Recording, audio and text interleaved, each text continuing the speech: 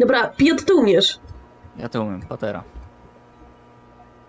O, kurwa! On to umie, on to umie, on to umie. Muszę się wam do czegoś przyznać. Jestem gamerem. Lubię czasem sobie pograć w jakąś dobrą gierkę. Ale od gier w klimacie Backrooms trzymałem się z dala jak tylko mogłem. Przynajmniej od tamtego jednego streama rok temu, w którym grałem w grę Backrooms o kiblach i basenach. O, fuck! Ja. Okazuje się jednak, że na Steamie jak tylko wpiszesz Backrooms, to dostaniesz wysyp miliona gier od ludzi, którzy zajarali się konceptem i chcieli zrobić to po swojemu. Duża część z nich jest wątpliwej jakości, a i tak każą ci płacić za nie po 40 ziko. Mamy więc Inside the Backrooms, Backrooms Escape Together, The Backrooms, Backrooms Break, The Backrooms World, Under Backrooms? Return the Backrooms, Faster than Backrooms? No i oczywiście The Real Backrooms. To są prawdziwe backroomsy. Jezu, niektóre z nich wyglądają po prostu jak gry na telefon, like, what the fuck. No ale mamy też wiele, wiele więcej innych tytułów. Tak czy siak, większość z nich pada pod kategorię symulatora chodzenia. Chodzisz po tych całych mitycznych zapleczach, czasem usłyszysz jakiś straszny dźwięk, a gra kończy się jakimś oskryptowanym jumpscarem i tyle. Gratuluję wywalenia hajsu w błoto. I tu pojawia się moje pytanie. Czy da się w ogóle zrobić dobrą grę o backroomsach? Taką, która odpowiadałaby klimatowi internetowych historii, a jednocześnie byłaby dobrą zabawą dla graczy. Oryginalnie idea backroomsów sprowadzała się do nieskończonych, podobnych do siebie korytarzy i pomieszczeń, w których tak naprawdę nic się nie znajduje i największy potwór siedzi w twojej głowie. Ale tak jak z fundacją SCP, koncept ten rozrósł się i ewoluował, prezentując nam różne poziomy, ludzi i potworki je zamieszkujące. Ale sama idea pozostała. To przecież tylko puste korytarze. Jak zrobić z tego dobrą grę? I tu na scenę wchodzi Escape the Backrooms. Pewnie słyszeliście już o tej grze, może sami w nią graliście, ale tak czy siak warto, żebyście usłyszeli ode mnie, że to jest jedna z lepszych gier o backroomsach, jakie można znaleźć i mówię to ja, osoba, która trzymała się od tego typu gier na kilometr. Jest bazowana bardzo wiernie na opowiadaniach z internetowej Backrooms Wiki. Są w niej dokładnie odwzorowane stworzenia z poszczególnych leveli. Poziomy są graficznie piękne, mają swój klimat, ale nie są za długie i nie zanudzają. A każdy ma swój innowacyjny motyw przewodni. A jako wisienka na torcie, w Escape the Backrooms można grać ze znajomymi. No ale oczywiście to tylko moja subiektywna opinia. Teraz przejdę przez każdy z etapów tej gry po kolei, jednocześnie go oceniając, żeby na końcu wydać opinię, czy Escape the Backrooms to rzeczywiście najlepsza gra o Backrooms, czy może najgorsza, bo nie da się zrobić dobrej gry o Backroomsach. Zacznijmy od początku. Escape the Backrooms ma parę poziomów trudności. Łatwy, normalny, trudny i koszmar. Na łatwym i normalnym wystarczy, że tylko jedna osoba dojdzie do końca poziomu, by ruszyć dalej. Na trudnym, jeśli jedna osoba z drużyny umiera, wszyscy umierają i poziom się resetuje. A na koszmarze, jeśli choć raz jedna z osób umrze, cała gra się restartuje i zaczynacie od poziomu 0. No właśnie, poziom 0. Tu wszystko się zaczyna. Grzechem byłoby nie zawrzeć go w grze. I już tutaj widać pewne innowacje i małe problemy, jakie niesie ze sobą Escape the Backrooms. Mapy nie są losowo generowane i co każdy nowy gameplay wiesz czego się mniej więcej spodziewać. Mimo to nie przeszkadza to zbytnio, bo poziom 0 jest niezwykle prosty. Znaleźć kawałki drabiny, potem klucz, otworzyć drzwi i przejść na drugą stronę do wyjścia. Albo spaść na dół, czekać aż ktoś ci rzuci linę, wejść na górę i zrzucić osobę, która ci rzuciła linę na dół. I teraz wszyscy jesteście w dupie. O nie. Ja pierdolę. Zdarzyło mi się to już dwa razy. Teraz wystarczy uciec przed potworem do wyjścia oznaczonego strzałkami i tyle. Widać wiele naleciałości z animacji Kane'a Pixela o backroomsach, które ożywiają nieco poziom 0, jednocześnie nie odejmując mu oryginalnego uroku i nie modyfikując go zbytnio. 3 na 5 za gameplay, 3 na 5 za klimat i 2 na 5 za innowacyjność. Bardzo taki obojętny wynik. Ale dopiero na następnym etapie zaczyna się prawdziwa zabawa. Otóż okazuje się, że każdy z graczy ma możliwość naciśnięcia klawisza C i wyciągnięcia przed siebie identyfikatora z napisanym na nim jego nickiem. Dlaczego? Bo na następnych poziomach pojawiają się pierwsze stworzenia, z którymi mamy do czynienia. Złodzieje skór.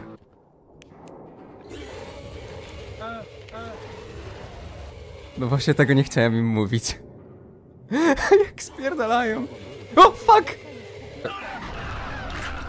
Całkiem wiernie mechaniką odwzorowującej istoty zapisane na kartach internetu, te małe Among Usy będą przebierać się za twoich kolegów i czasem nawet wydawać ludzkie odgłosy na czacie głosowym, żeby cię zmylić i poprosić o wpuszczenie do środka pomieszczenia, w którym się schowałeś, bo właśnie usłyszałeś jak coś brutalnie rozczłonkowało całą twoją drużynę. Poziom pierwszy jest w miarę prosty, ale składa się z wielu etapów, dlatego ocenimy go dopiero po ich zakończeniu. Szukanie losowo generowanego kodu do windy, potem znalezienie czterech kluczy i przekręcanie ich w tym samym momencie, a następnie znalezienie windy na losowym poziomie bardzo słabo oświetlonego parkingu z czyhającym w nim skórołazem. Przy tym wszystkim po raz pierwszy możemy odczuć efekty ubywającej nam poczytalności, czyli mechaniki, która, zależnie od tego jak straszny i niebezpieczny jest poziom, sprawia, że powoli zbliża się twoja śmierć psychiczna, a co za tym idzie, fizyczna również. Zapobiec temu można pijąc wodę migdałową, czyli backroomsową ambrozję, lek na wszystko i przedziwny artefakt, który jest jedynym sensownym napojem tutaj. Z innych przedmiotów pojawiają się tu również latarki, bez których w tych egipskich ciemnościach prędzej upadniesz i sobie swój głupi ryj rozwalisz niż uciekniesz. Ale gdy uda ci się już uciec, trafisz do hubu. Tutaj znajdziesz pozamykane drzwi do przeróżnych innych poziomów, a także bazę MEG, Major Explorers Group, która jest zablokowana bardzo prostą zagadką i szczerze trochę szkoda mi tego etapu, bo wygląda naprawdę cudnie i wizualnie prezentuje się również zacnie. Mogłoby tu być więcej elementów zagadek typu escape room, ale nie narzekam, bo to i tak tylko jednominutowy przystanek przed kolejnym etapem pierwszego poziomu, czyli parkingu ze smilerami, czyhającymi w ciemnościach potworami, które jak tylko zgaśnie światło, a zgaśnie już za chwilkę, wydrapią ci oczy i wydadzą hajs na skiny do Ligi Legend. W skrócie, mechanika tego etapu to zabawa w raz, dwa, trzy baba jaga patrzy, którą chamsko ukradł backroomsom serial Squid Game dwa lata wcześniej. Ale jeśli tak, to powinni zacząć się ruszać. Nie zdąży. O! Zdąży. Nie zdążył! O nie! Na tym poziomie mamy też pierwsze z dwóch Polska nawiązań. Polska górą. Ze względu na jego obszerność, poziom pierwszy dostaje 5 na 5 za gameplay, 3 na 5 za klimat i 3 na 5 za innowacyjność. Po ucieczce z parkingu trafiamy do poziomu drugiego, Pipe Dreams, nieskończonego korytarza, który ciężko mi w ogóle nazwać poziomem, bo to bardziej krótki etap przejściowy, który prowadzi nas albo w stronę stacji, albo zabawy. Smiler, Gdzie? uśmiechacz, śmieszek, Śmieszek? Śmieszek. O, rzeczywiście śmieszek, o fuck. Kto umarł? Czy ktoś umarł? Tutaj, tam, tam było przejście. Biegnę za... Kurwa, nie biegałam. Zepsułaś. Goofy a backroom game ujęcie Okej. 15. Dobra, dobra, powiedz kiedy. Co? Kurwa.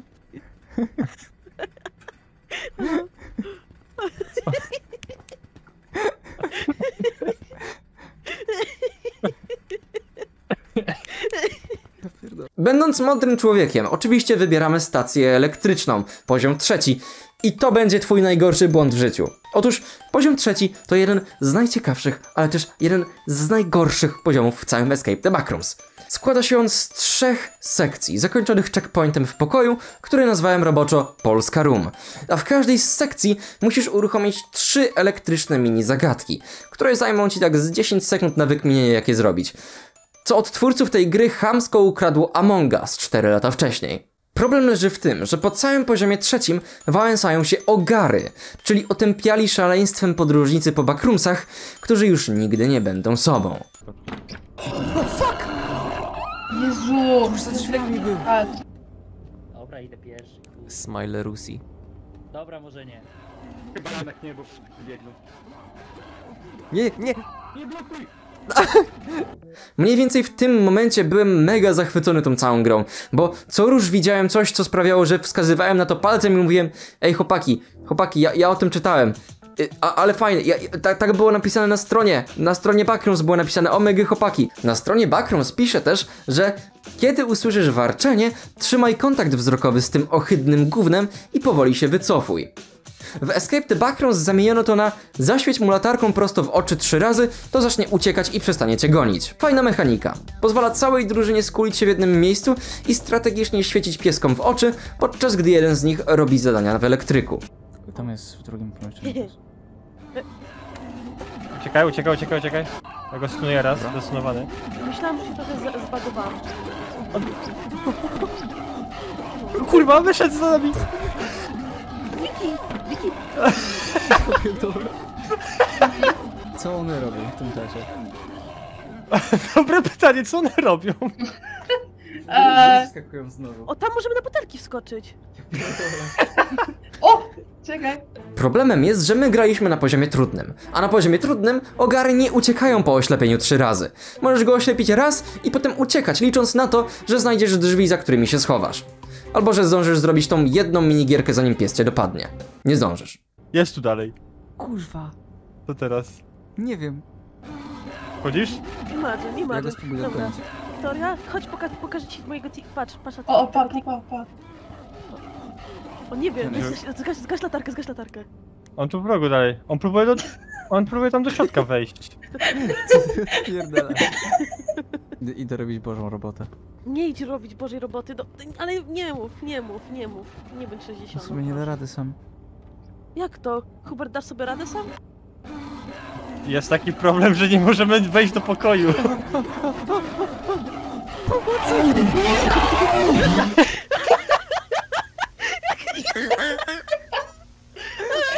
On umarł na naszych oczach po prostu. Spędziliśmy na tym poziomie prawie godzinę, odchodząc od zmysłów, tylko dlatego, że ten trzeci etap był taki ciężki. Ale zrobienie go omijając strategicznie ogary było najbardziej satysfakcjonującym zwycięstwem w całej grze. Tutaj też zaczynają się pojawiać i być przydatne przedmioty takie jak soczki i czekolady, zwiększające ilość wytrzymałości albo szybkość sprintu. No i nie zapominajmy o pilnowaniu poczytalności. 5 na 5 za gameplay, 4 na 5 za klimat i 4 na 5 za innowacyjność. Następny na liście jest poziom czwarty, pomieszczenia biurowe. Stuprocentowo bezpieczny, zawiera tylko parę zagadek i etap skradankowy, w którym trzeba unikać wzroku kamer porozmieszczanych w biurze. 2 na 5 za gameplay, 3 na 5 za klimat i 2 na 5 za innowacyjność. Dodam tam gdzieś jeszcze jeden punkt za pomieszczenie, które nazywa się Idiot Room, ale nie dodam. No jest to taki fajny odpoczynek od horrorów, do których już wracamy za moment, na poziomie piątym, na hotelu terroru, na którym otrzymujemy nowy przedmiot, spray na robaki. Kanonicznie ten poziom zamieszkują śmierćmy, które tutaj możemy popsikać sprayem, aby otrzymać... żelatynę z ćmy? No coś w tym rodzaju. Tak, można to zjeść. Nie, nie powinieneś. Po tym etapie następuje jeden z najbardziej backroomsowych etapów w całych backroomsach. Co przez to rozumiem? Musisz wałęsać się po nieskończonych hotelowych korytarzach, zwiedzając pokoje celem znalezienia kodu do drzwi, unikając poznanych dotychczas przeciwników. Jest to trochę monotonne, na tyle, żeby wprowadzić cię w niepokój, ale nie na tyle, żebyś miał dosyć. 3 na 5 za gameplay, 4 na 5 za klimat i 3 na 5 za innowacyjność. Nic szczególnego, ale było fajnie. Teraz witamy w drugim najbardziej znienawidzonym przeze mnie poziomie. Oto Boiler Room, znajdujący się pod hotelem pod poziom, w którym umierasz z gorąca, a także przez samice śmierciem, które z chęcią podniosą cię i odniosą do ich roju. Twoim jedynym narzędziem jest termometr, który wskaże ci, które drzwi to śmiertelna pułapka, a które to droga do wyjścia. Jest monotonnie, obrzydliwie i ciężko jest unikać tych całych ćmów. Ciemek. Ciem. Latających skurwysynów głupich po prostu. 3 na 5 we wszystkim, bo nienawidzę tego poziomu całym sercem. Potem, jak żeby przypomnieć ci, że backroomsy to nieskończony labirynt, z którego nie ma ucieczki i prędzej czy później zrobisz kółko, wracamy do naszego ukochanego korytarza śmierci. Tym razem idziemy oczywiście w prawo, w stronę poziomu zabawa. Poziom zabawa na wiki Backrooms słynie jako pułapka tzw. imprezowiczów, czyli stworów żywiących się ludźmi i robiących z nich imprezowych przekąsek. Ten poziom to moment, w którym psychika nawet najbardziej zagorzałych graczy Backrooms upadnie. I to w sumie dosłownie, bo gdy odpalisz ekwipunek, to zobaczysz, że z sekundy na sekundę tracisz naprawdę dużo poczytalności.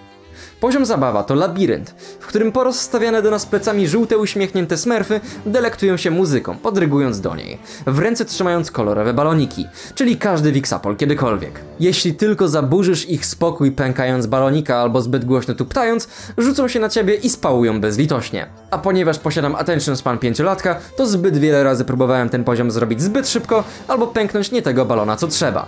Dlatego moja drużyna ma mnie już dosyć. Dobra, możemy iść powoli, powoli, powoli. Kto to zrobił? Hu, hu, hu, hu. Balony można pęknąć? No. Czym ty to pęknąłeś? Kobarem? No i zepsułeś Ale teraz. coś ty zrobiłeś. Ja zepsułem? Już jestem na końcu praktycznie. O. O, fuck! Gdzie ty biegniesz z No tym? bo gonił mnie! Dobra, dobra, dobra, Nie. dobra, dobra. Weźcie A poczekajcie. Wy... F4. 4 na 5 za gameplay, 4 na 5 za klimat, 3 na 5 za innowacyjność i 5 na 5 za wkurzanie mojej drużyny. Na końcu wskakujemy do rury z wodą i trafiamy do jednego z najładniejszych poziomów tej gry, czyli Pool Rooms.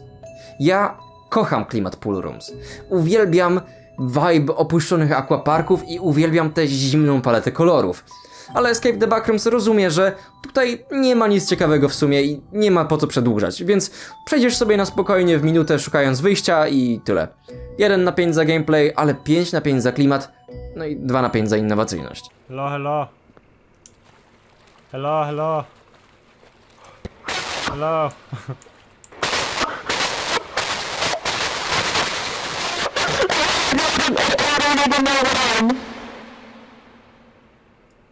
You good?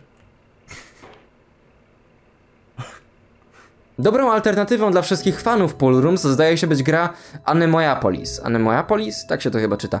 Która obecnie jest w wersji demo. Nie oferuje co prawda zbyt dużo innowacji względem rozgrywki i fabularnie nie jest prawie że w ogóle rozwinięta, żeby móc mówić o czymkolwiek intrygującym, ale to projekt, który bacznie obserwuję odkąd zaczęte zostały nad nim prace i polecam go wam serdecznie. Level Run for Your Life trwa chyba niespełna minutę i zawiera się w nim dosłownie to, co jest w tytule. Biegniesz. Szybko. I potykasz się. I umierasz. I potem znowu biegniesz. I potykasz się. I umierasz.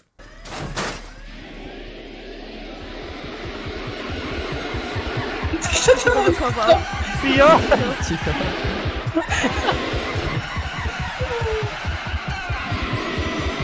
No niech to blokuje. Kto blokuje? Ja przynajmniej ja nie mogę blokować, bo jestem na końcu. O dobra, udało się, udało się, udało się, udało się, udało się.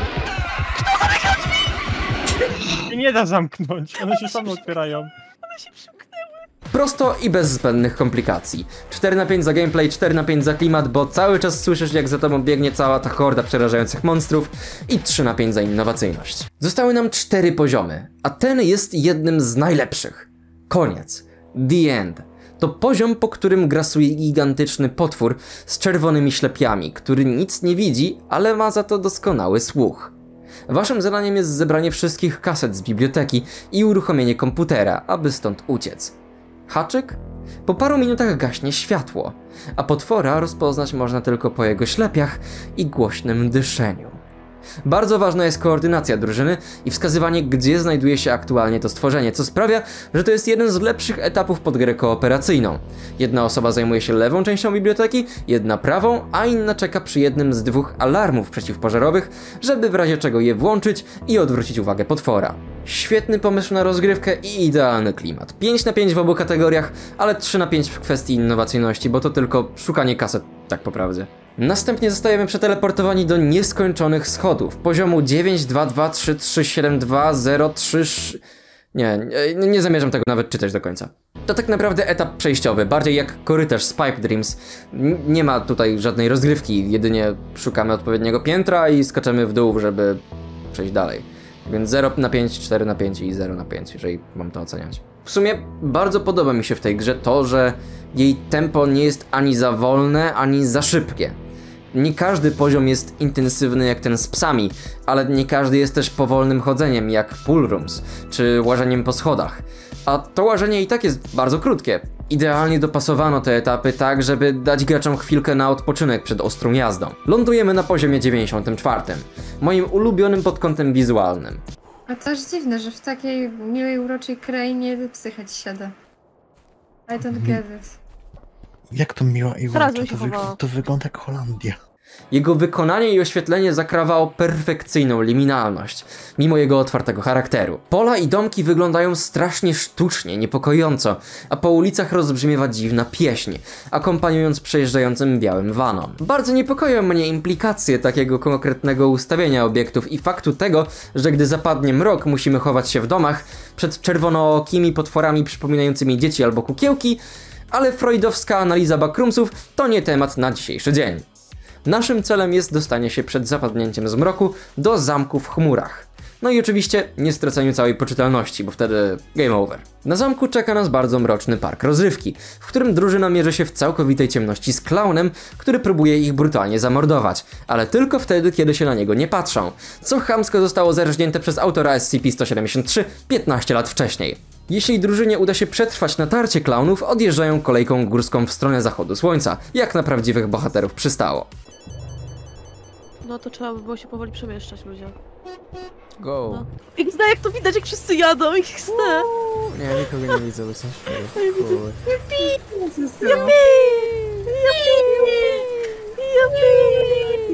Jebani autystycy, kurwa. 3 na 5 za gameplay, 5 na 5 za klimat i 3 na 5 za innowacyjność. Ostatni poziom w aktualnej wersji gry to poziom szósty.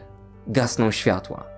Jest to poziom, dzięki któremu zakochałem się w tej grze na zabój. Wisienka na torcie wśród tych wszystkich poziomów. Ogółem jestem zdania, że większość opowiadań na Backrooms Wiki jest strasznie kiepskiej jakości, bo nie mają zbyt dobrej struktury, nie prezentują żadnej głębszej historii, a poziomy są tworzone tylko po to, żeby ładnie wyglądały i żeby miały w sobie jakieś potworki.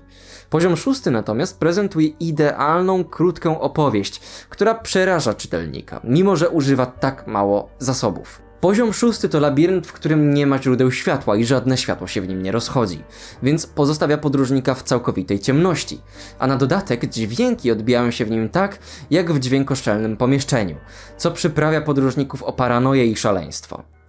Jeden z podróżników uciekł z poziomu szóstego, cały zakrwawiony, z wydłubanym okiem i połamaną nogą. Twierdził, że coś go zaatakowało.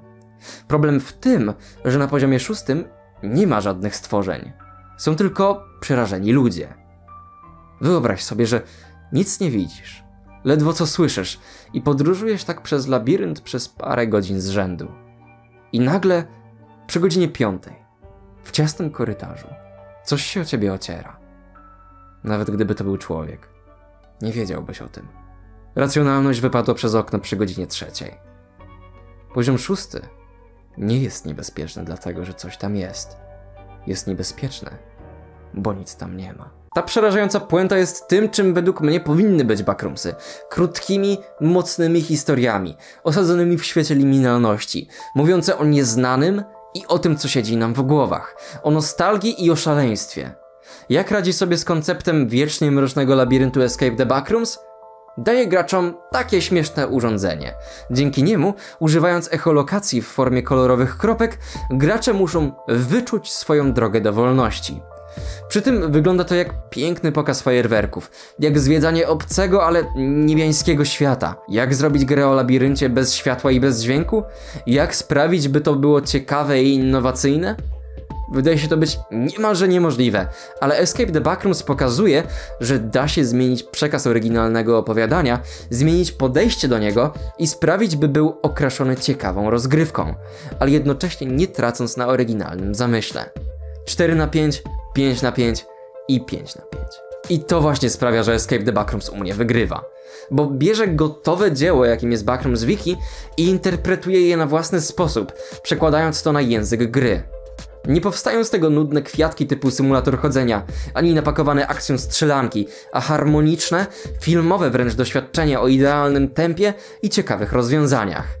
Dodaj do tego możliwość śmiania się ze znajomymi albo randomami z internetu, odrobinę dobrze podkręconego horroru i masz idealną grę o Backrooms. No ale to nie koniec.